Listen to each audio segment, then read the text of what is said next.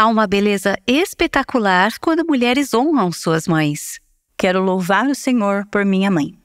Ela ficou do meu lado quando não havia ninguém comigo. Que modelo incrível eu tive crescendo e eu nunca soube disso. Lembro-me de que ela sempre tinha a Bíblia consigo, onde quer que estivesse. Eu sabia que com uma mãe assim, tudo ficaria bem.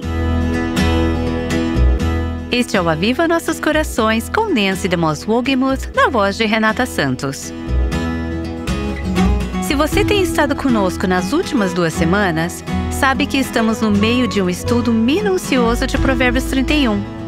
Tenho aprendido tanto com este capítulo. Eu não tinha ideia que ele tivesse tanto a ensinar. Se você perdeu algum episódio, não se preocupe você pode acessar os episódios passados no nosso site www.avivanossoscoracóis.com ou no nosso canal do YouTube. Hoje teremos a participação de algumas de nossas ouvintes. E quando você ouvir os tributos que elas têm a oferecer às suas mães, bem, digamos apenas que você precisará de alguns lenços de papel à mão. Em breve ouviremos esses testemunhos preciosos mas antes, aqui está Nancy explicando como a mulher de Provérbios 31 obtém sua incrível força. Conversamos em nosso último episódio sobre como a mulher virtuosa, a excelente mulher em Provérbios 31, cinge-se de força e fortalece os braços. Seu objetivo é agradar ao Senhor. E eu gostaria de adicionar só mais um insight em relação a esse assunto, e depois passaremos para o versículo 18. Isaías 30, versículo 15, nos diz que na quietude e na confiança está o seu vigor. Muito bem, sabemos que Deus dá força ao cansado, então precisamos pedir a Ele força.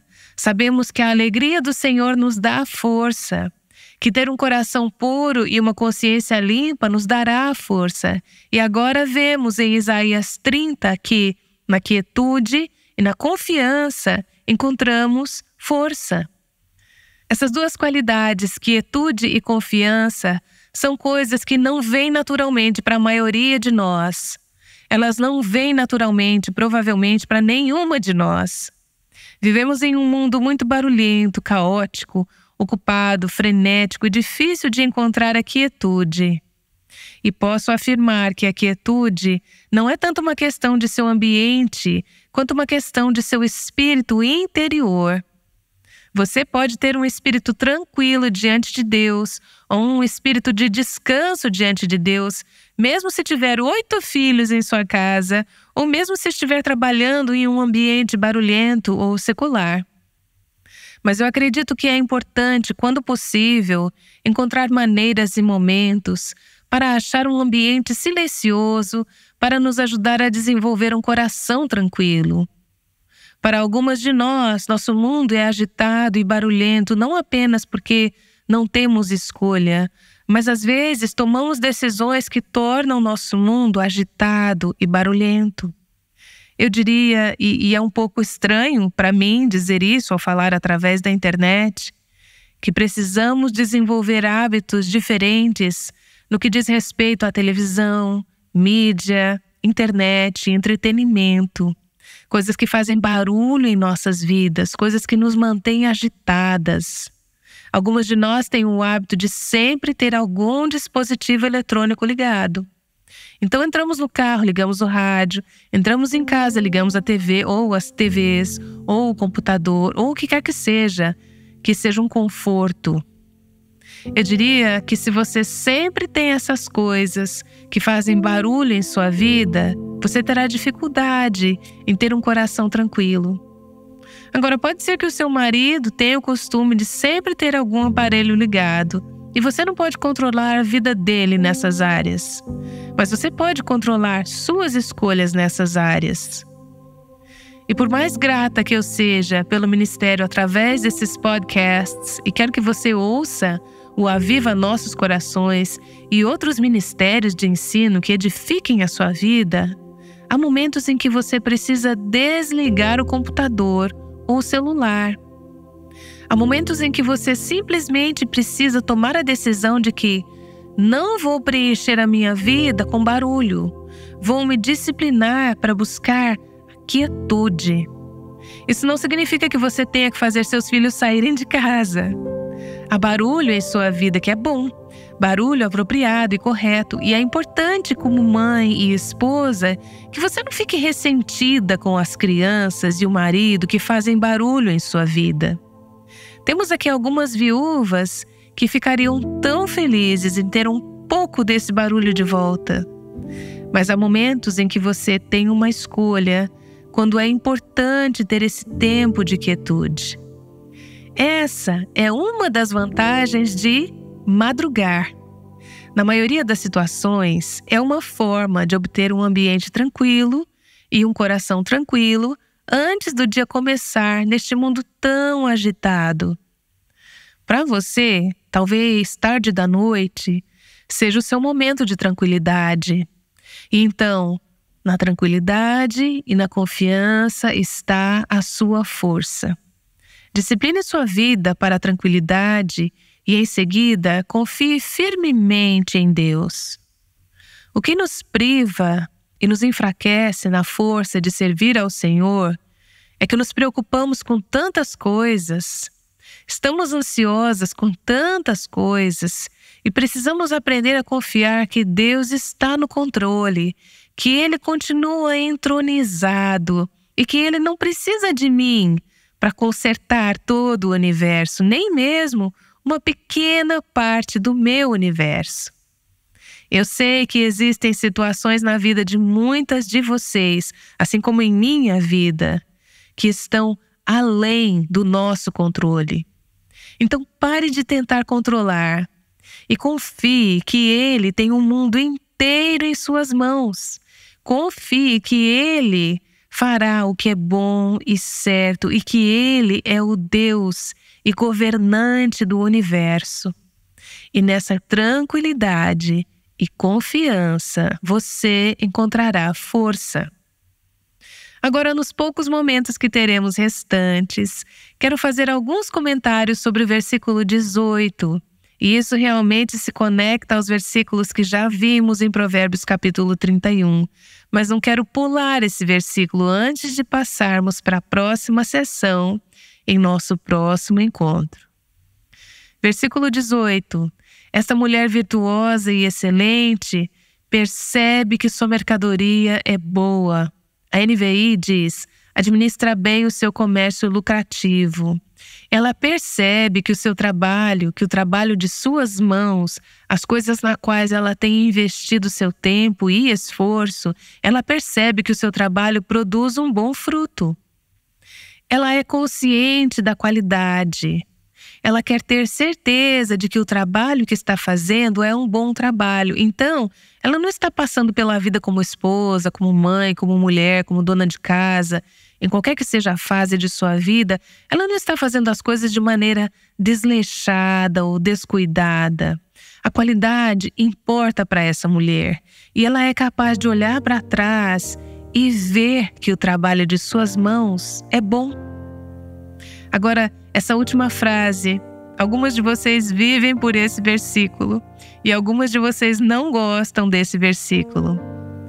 E a sua lâmpada fica acesa durante a noite.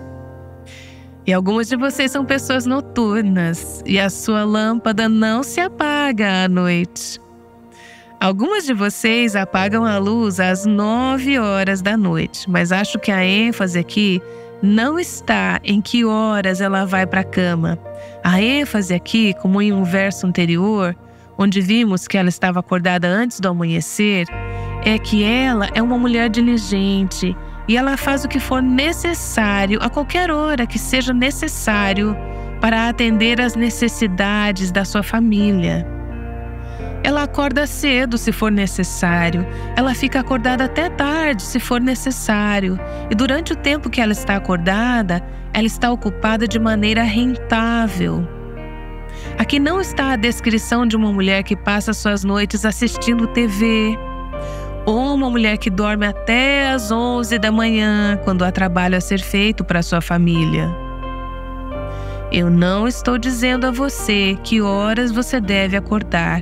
Eu não estou dizendo a você que horas você deve ir para a cama, porque as Escrituras não nos dizem isso. Mas ela nos diz que, como mulheres, devemos ser diligentes e usar as horas, os momentos que o Senhor nos dá, de maneira que seja agradável a Ele. Então, isso significa que eu nunca paro e me divirto com meus filhos? Sim, você absolutamente deve parar e se divertir com seus filhos. Quando for a hora de fazer isso, é sagrado, então é virtuoso, é excelente. Mas isso significa que não desperdiçamos os preciosos momentos, horas e dias que Deus nos dá mas os usamos de maneira proposital e intencional e com o objetivo de glorificar a Deus. Uma análise equilibrada sobre o tempo por Nancy DeMoss Wogemuth. Estamos prestes a ouvir algumas histórias emocionantes sobre mães que fizeram bom uso de seu tempo. Essas histórias vão fazer você parar e considerar quando você chegará ao fim de sua vida, você olhará para trás e dirá: Realmente usei meu tempo com sabedoria? Investi em meu lar? As escolhas que você faz hoje influenciarão a maneira como você responderá a essa pergunta. A maioria de nós apenas passa todo momento livre correndo de uma demanda para outra. Então é difícil pausar e refletir se estamos usando o tempo de maneira eficaz. Nessas últimas duas semanas, aprendemos muito sobre o que significa ser uma mulher de honra da série chamada A Mulher Contracultural. É hora de pausar e permitir que algumas de nossas ouvintes nos falem sobre suas mães. Tenho certeza de que você vai gostar de ouvir esses tributos emocionantes. Meu nome é Tracy e eu gostaria de louvar o Senhor pela herança cristã de mulheres que cercaram minha vida. Primeiro, quero louvar a Deus pela minha avó Catherine que em janeiro partiu para estar com o Senhor. Mas durante toda a sua vida, ela me mostrou como ser uma serva, primeiro diante de Deus e depois diante dos homens. Da mesma forma, eu louvo o Senhor pela minha mãe, que é uma alegria para mim e é provavelmente o exemplo mais bonito do amor incondicional de Deus para mim. E eu sei que sem ela eu não seria nem metade da mãe que eu sou hoje. Ela é um tesouro precioso. E eu sou muito grata a Deus que a escolheu para ser minha mãe.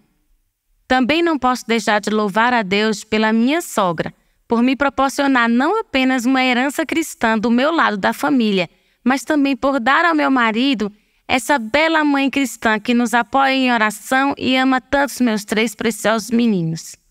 Só quero agradecer a Deus por todas as suas bênçãos, através dos exemplos delas na minha vida e encorajar outras mulheres a entenderem que ser esse modelo piedoso não passará despercebido. Muito obrigada por essa oportunidade de agradecer. Eu te amo, mãe. Gostaria de honrar a minha mãe, Anna Jane Wales.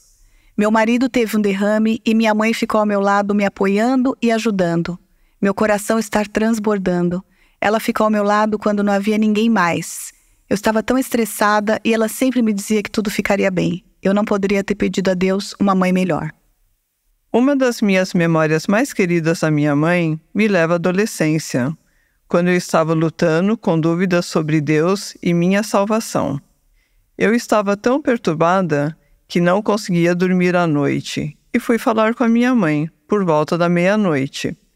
Ela me deu palavras de sabedoria e me confortou. Mas assim que voltei para minha cama, os mesmos pensamentos perturbadores voltaram para me assombrar.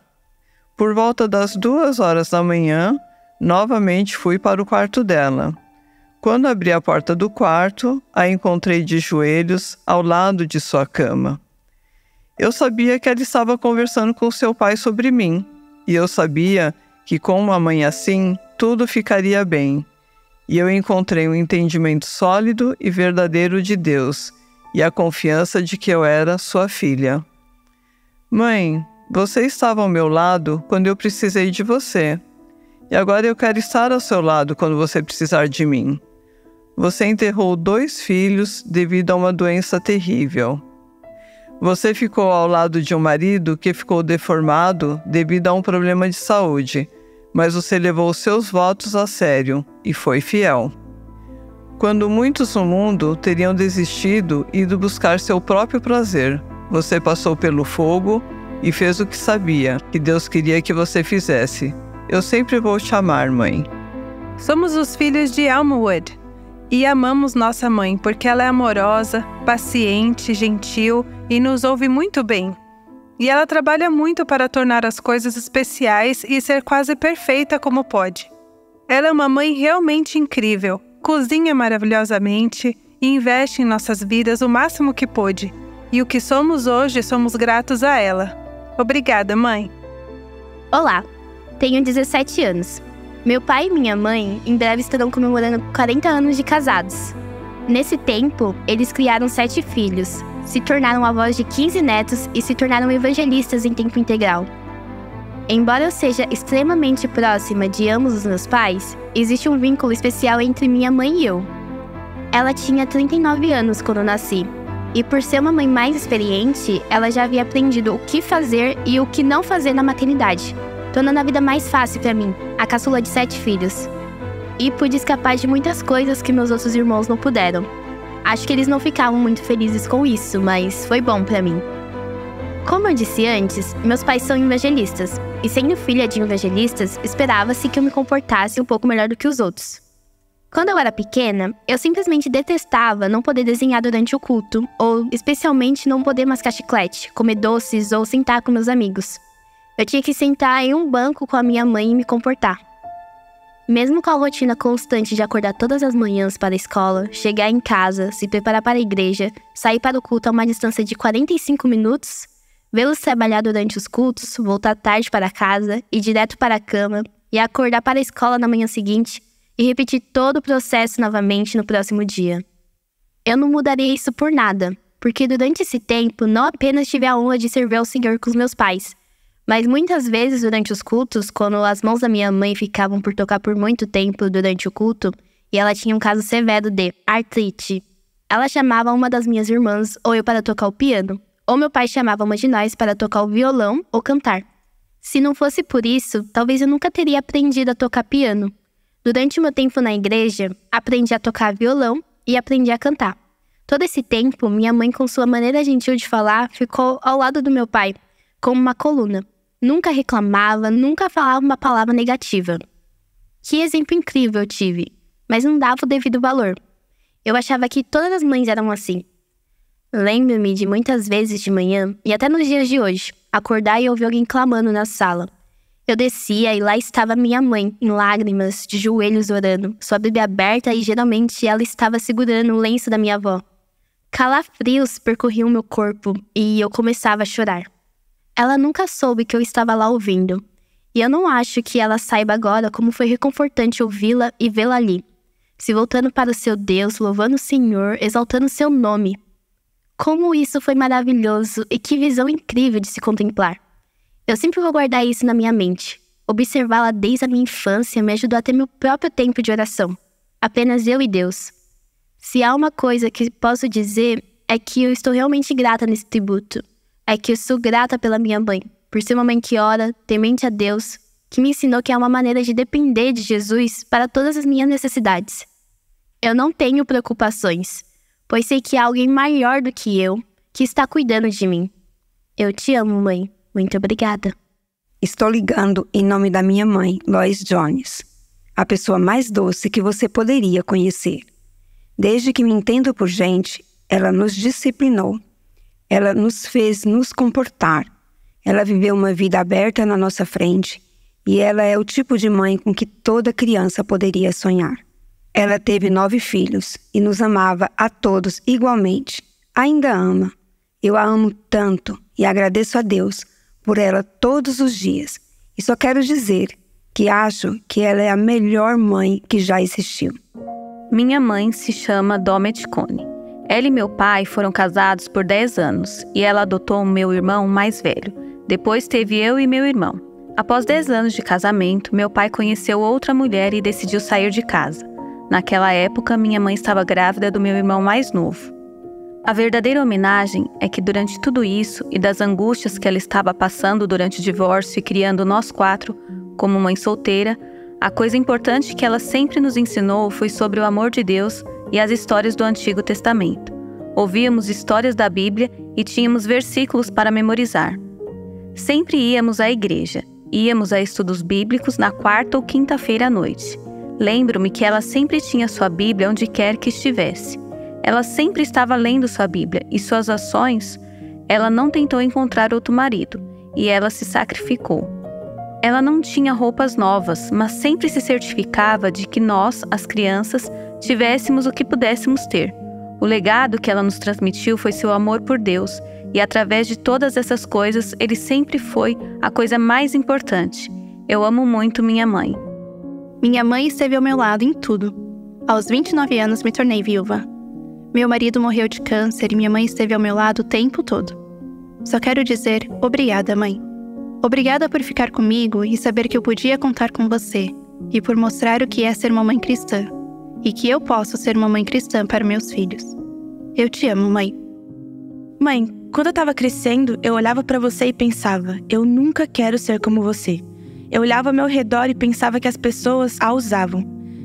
Eu pensava que as pessoas se aproveitavam de você e pensava: eu nunca vou ser assim, nunca. Crescendo, mãe, eu não era assim. Eu me endureci e tentei muito não ser como você. Mas então, quando Cristo entrou na minha vida, quando eu vi Cristo e ele tocou no meu coração, agora eu olho para você de uma maneira diferente. Agora vejo como um exemplo que Cristo colocou na minha vida, porque você era essa mãe pacificadora. E agora, mãe, considero uma honra enquanto me esforço para ser exatamente como a pessoa que você é. Eu te amo, mãe.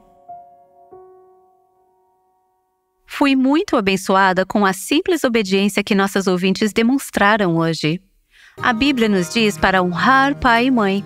Isso pode parecer simples, mas à medida que as mulheres aqui honraram suas mães, pudemos ver quão incrivelmente poderoso esse ato de honra pode ser. Espero que você também reserve um tempo para honrar sua mãe. Claro, é importante honrar os pais em geral, mas durante essa série de ensinamentos, estamos nos concentrando nas mães com Nancy DeMoss Wogemuth na série chamada A Mulher Contracultural. É uma análise detalhada de Provérbios 31 não teria sido uma pena perder o programa de hoje e as histórias que acabamos de ouvir? Caso tenha perdido qualquer episódio, você pode acessá-lo no nosso site ou no nosso canal do YouTube. Se uma mulher passa todo o seu tempo voluntariando em um abrigo, isso é uma coisa boa, certo? Bem, talvez não. Depende do que está acontecendo dentro de sua própria casa. Vamos ouvir sobre boas obras e prioridades no próximo episódio aqui no Aviva Nossos Corações. Vamos encerrar nosso tempo hoje orando com Nancy.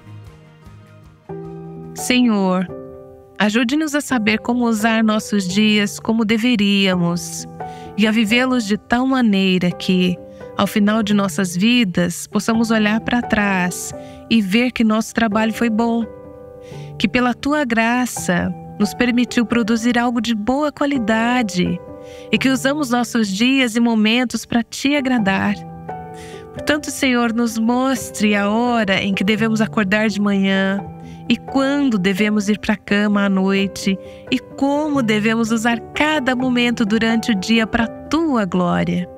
Eu oro em nome de Jesus. Amém.